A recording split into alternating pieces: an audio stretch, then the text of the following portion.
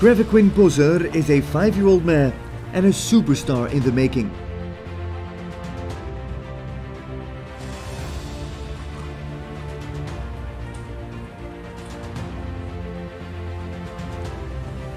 She's very well bred, out of the line of Brooke van de Zuidhoeve of Richie Moloney, the Olympic medalist Bubalu VDL and Enaldato of Emile Hendrix.